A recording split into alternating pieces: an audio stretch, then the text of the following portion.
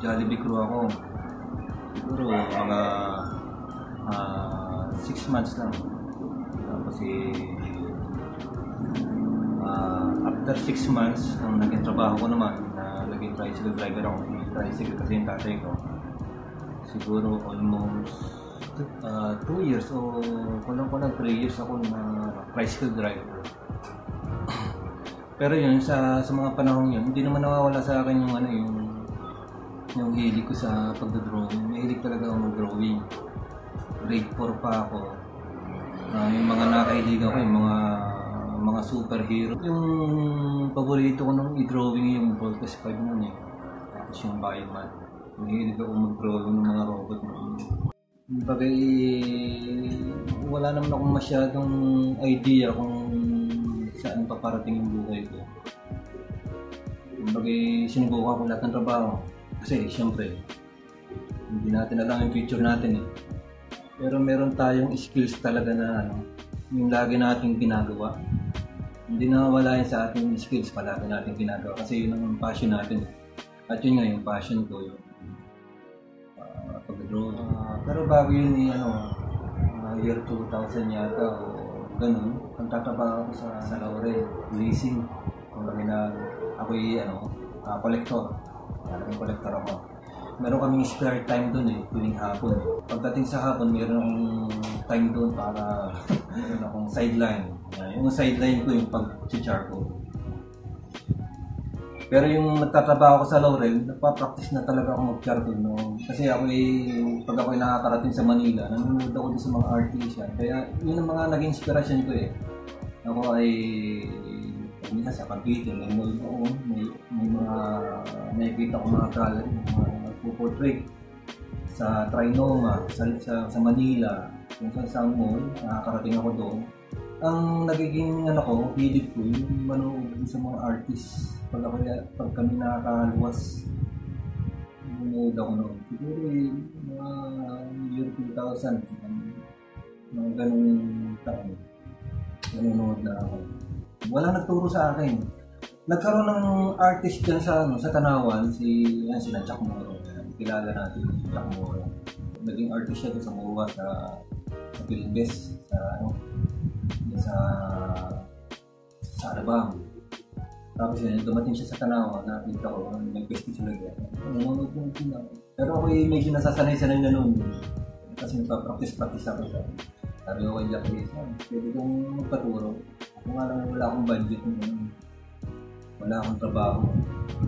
Magpapaisip talaga lang ako. Tapos si... Yan nga. Ah, may mga sample ako ng drawing noon. Pinakita ko Jack. Makita ni Jack yung ano, yung sample ko isa.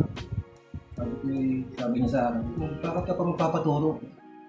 Eh, yan na yung ano, ayos yung gawa mo. Yan ang, yan ang certificate mo. Yan ang bagay. Nagkaroon ako ng ano. Nagkaroon ako ng self-esteem. Hanggang sa sinanay ko muna sinanay yung pagpapractice ko. Yung iba doon, habang nagpa-practice ako, hindi ko, hindi ko alam na kaya ko pala na gawin yung ginagawa ng artist. Walang nagturo sa akin, pati yung mga materials niyan, yung paggagawa niyan, ang ginagawa ko lang, nanonood ako doon sa mga sa mga artist, mga sa mga tinitingnan ko kung anong gamit ng ano kayong gamit ng brush, ano kayong gamit ng materials nun, ano kayong gamit ng papel. Yun, makasin ba magkaroon ng idea. Pati dyan sa ano, sa pa, kung kilala niyo si Kaoscar, matay yun eh. Yun eh, lagi ko rin siyang tinatampayin dyan sa Robot Store.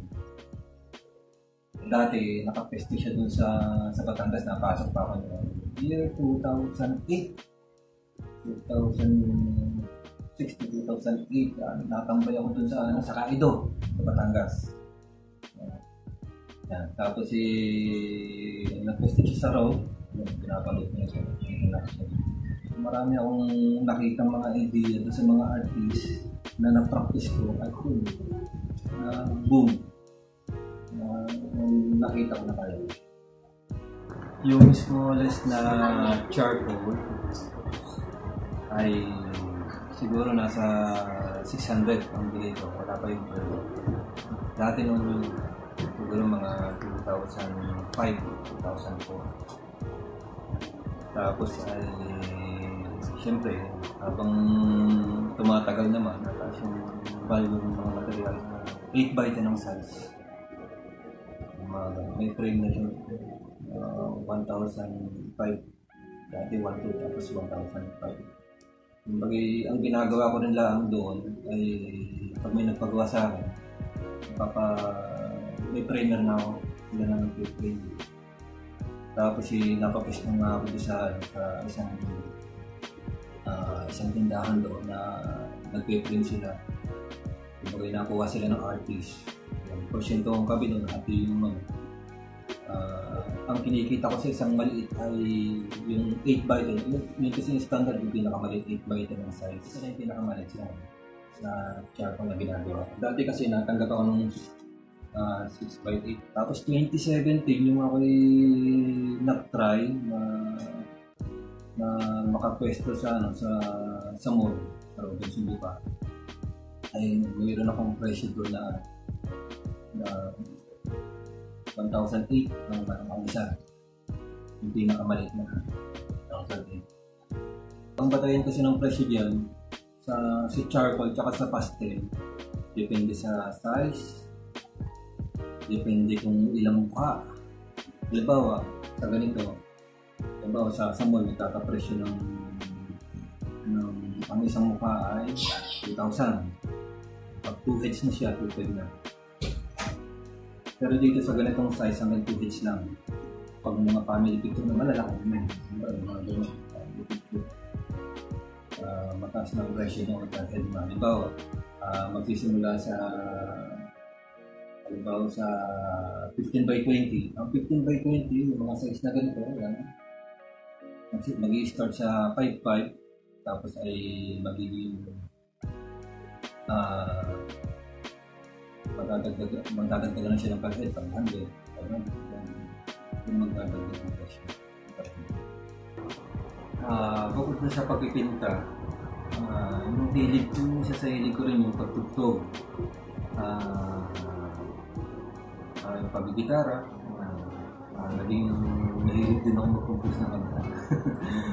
Yung mga mga composition din ang ginawa. Pero yung mga composition ko mga Christian song at yun ay kumbaga pinagpapasalamat ko din sa sa Diyos at kumbaga kasi yung mga ganung talent talaga binibigay na binibigay dapat natin sa Diyos.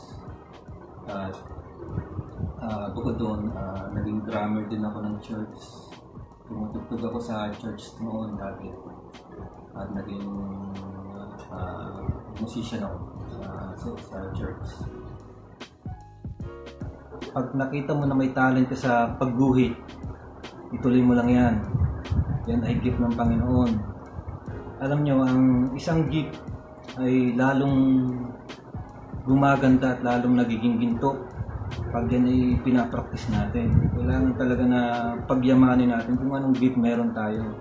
At yun ang natuklasan ko sa sa pagiging artist. Talagang pinapractice yan at pinagayaman yung, yung talento natin. waktu yang habis.